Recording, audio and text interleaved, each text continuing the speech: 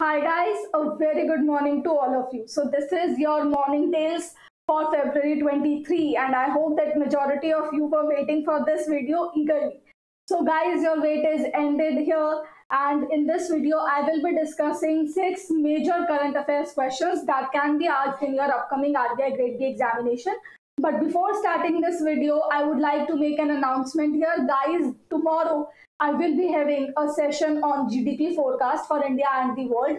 So be there at 10 a.m. in the morning on YouTube so that you can watch the entire session and can answers all answer all the questions related to GDP forecast in relation to India and the world. So let's begin this current affairs video for today. But before that, the people who are coming for the first time, guys, subscribe and hit this bell notification. Also, you can join this telegram group where we provide you with the free quizzes as well as resolve your queries. So if you have any queries, then you can ask it on this channel and the link is in description below. And guys, these are our courses. So if you are preparing for the uh, next year's RBI Grade B examination, so these are the full-fledged courses. Phase 1 plus Phase 2 complete course, which is what 19,000. We have a 15% discount running on all the RBI Grade B courses of ours. And this one is phase 1 J plus phase 2, which is what 16,000. And um, after 15% deduction, it will come around 13,000 or something. And then this is our crash course, which has right now a 40% discount. So if you want to appear for the upcoming examination, you can also go for this RBI Grade B crash course. These are our individual courses. For example, you have phase 2 ESI, finance and management and phase 1 complete as well. So if you want individual courses, then you can go for these courses. Okay. Now let's begin our video with the first question. How much money will Government of India infuse into the Ex Exim Bank in FY22? So Exim Bank stand for Export Import Bank of India now let's read out the options. So first option we have 1500 crores, 5500 crores, 10,000 crore, 1000 crore or 1100 crores. How much amount will India, the government of India infuse into the Exim Bank? So the right answer is 1500 crores. And remember guys, it is in the upcoming financial year. Now what is the amount of infusion in the current financial year? It is 1300 crores. Now guys, the authorized capital of this bank in the year 2019 only, uh, the government of India increased the authorized capital of Exim Bank to 20,000 crore. So if a question is asked from you in the examination that what is the present authorized capital of Exim Bank, then you should be able to answer the question that it is 20,000 crores.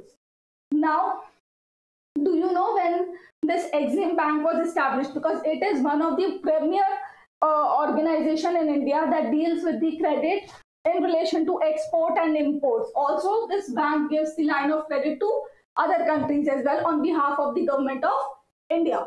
Now, it is very important for us to know that when was this organization formed. So, it was formed in the year 1982. Now guys, who is the present managing director of this organization? This question I'm leaving for you guys. So do mention the answer of this question. Apart from this, I have discussed everything related to Exim Bank. The next question is, which company has received RBI's approval for acquiring DHFL? That is Dewan Housing Finance Limited.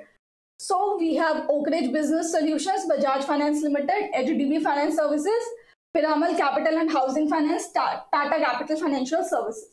Which company is acquiring DHFL? So I guess guys, you already have heard the acquisition. You already have known uh, about this acquisition that DHS, DHFL is being acquired by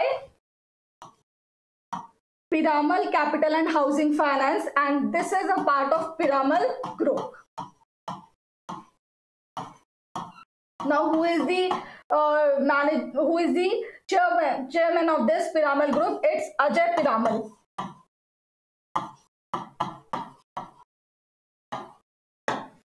Now guys, there is one minor fact that I think that some of you won't know and that fact is this is an NBFC which is acquiring an a housing finance company. So basically this is for the first time in the NBFC sector in India that a NBFC is acquiring a housing finance company during a resolution process. So in a resolution process, this acquisition is being done and this is for the first time in the NBFC sector of India. So that was the peculiarity for which I picked up this question in this session. And that's all for this question. Now we are, we are moving on to the third question. Which country has received a line of credit of USD 15 million from Exim Bank for the rehabilitation of existing potable water facilities? So you have the five countries right in front of you. You can read them on your own and if you want, you can write the answer on the sheet of paper or you can uh, mention it in the comment section below so that at the end of this video, you can yourself judge how many questions you corrected, correctly attempted. So the right answer to this question is option A. It's Sierra Leone. So this is a, an African country and it has got the line, line of credit of 15 million and the purpose is right in front of your eyes. That is for the rehabilitation of existing potable water facilities. Now this LOC will be provided to the Indian companies working in Sierra Leone for the rehabilitation of potable water facilities. So that is something that you should be aware of for from a very general perspective. Now guys, this is the fifth LOC being granted by Exim Bank to this country. So a total number of five LOCs have been granted by Exim Bank on behalf of the government of India to this Western African country. And the total cumulative price of all the LOCs, if you uh, add them together, then it will be around or exactly 168 million. So a total of 168 million worth of LOC has been granted by Exim Bank to Sierra Leone, on behalf of the government of India. So that's all for this question. But my question from you is the static facts related to this Western African country that is capital and currency. So do mention it in the comment section below. Next, which bank has signed an MOU with Society for Innovation and Development for extending exclusive credit facility to the startups and MSMEs? So we have Karnataka Bank, Indian Bank, Bank of Maharashtra, Bank of Baroda, Syndicate Bank in the options. Which one is the right bank? It is Indian Bank. So Indian Bank and Society for Innovation and Development have partnered or signed this MOU to provide uh, to provide financial as well as incubation support to the MSMEs and startups. Now, this MOU has been signed under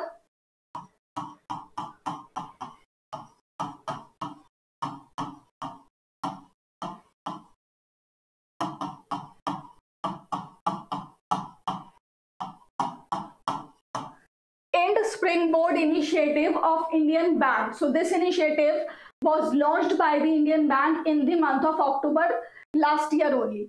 So this initiative, what is the purpose of this initiative? The purpose is to provide financial support to the startups.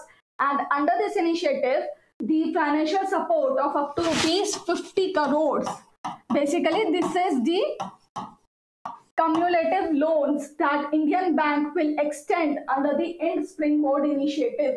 So 50 crore loans will be given 2 rupees 50 crore loans will be given to startups and in order to support those startups. And under this MOU only this financing facility will be extended to startups and MSMEs and what will this society for innovation and development do? It will provide the incubation support to MSMEs and startups. So this is the whole uh, functionality of this MOU that is Indian Bank will provide financing under this Ind Springboard initiative and the Society for Innovation and Development will provide incubation support. Now, this Society for Innovation and Development, do you know that it is an initiative of one of the major institute of India. Now, which institute is it? It's Indian Institute of Science.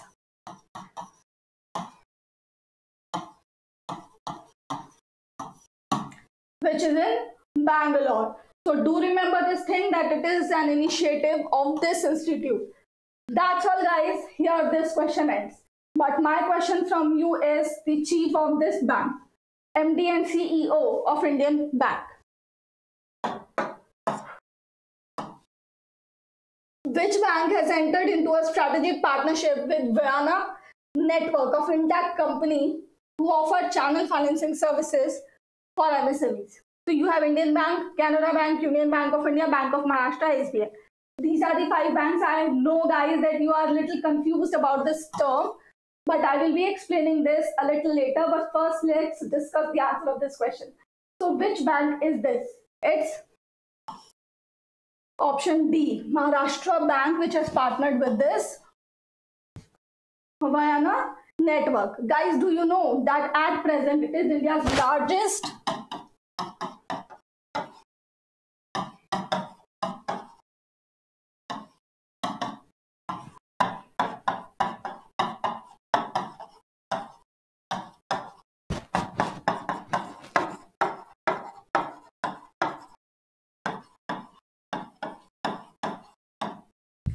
supply chain financing network.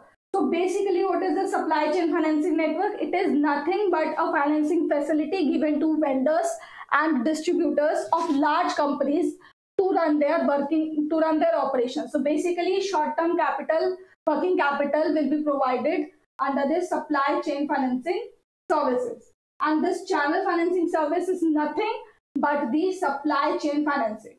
So basically what is the crux of this. The crux is that under this channel financing services, MSMEs, which work majorly as distributors and vendors for the large corporates, will get uh, the facility, will get the working capital amount.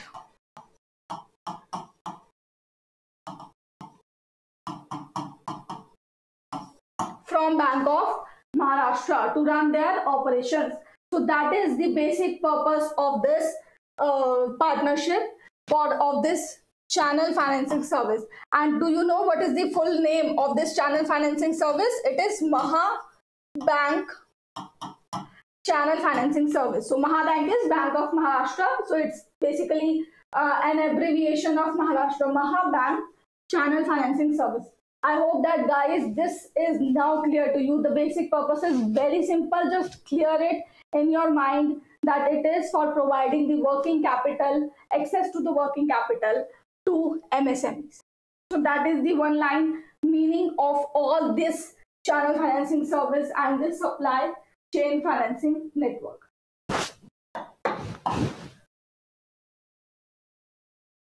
In which category did Wildlife Crime Control Board India win 5th Asia Environmental Enforcement Awards?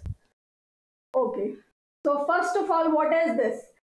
This fifth Asia Environmental Enforcement Award were given by United Nations Environment Program, Interpol, and World Custom Organization. Now, what is the purpose of this organization, uh, this award?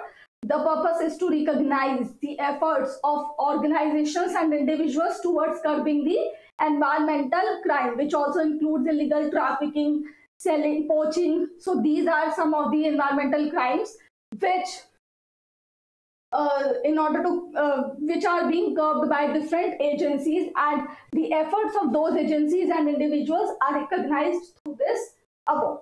So that is the whole purpose of this award. So you should be aware of the uh, meaning of the award or the purpose that the award serve whenever you are covering any award Okay, so you have impact, impact and gender leadership, collaboration, innovation and impact and integrity. And this Wildlife Crime Control Bureau of India has won this award in the category of innovation. So this is something that you should remember. Innovation category is the category of this winner. Apart from this, there is also another winner from India only. And who is that? Let's discuss.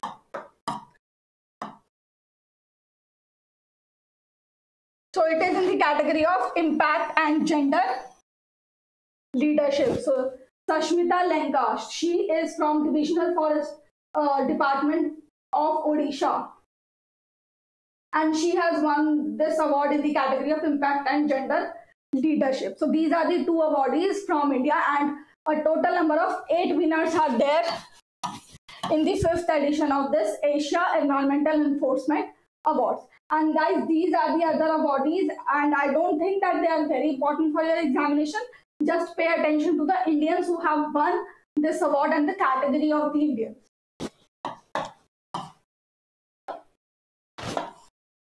So now guys, this session ends. I hope that you have enjoyed the session and if you have, then do like this video. Thank you so much for watching this video and do not forget to come for the GDP session that I'm going to take tomorrow. Thank you so much for watching the video.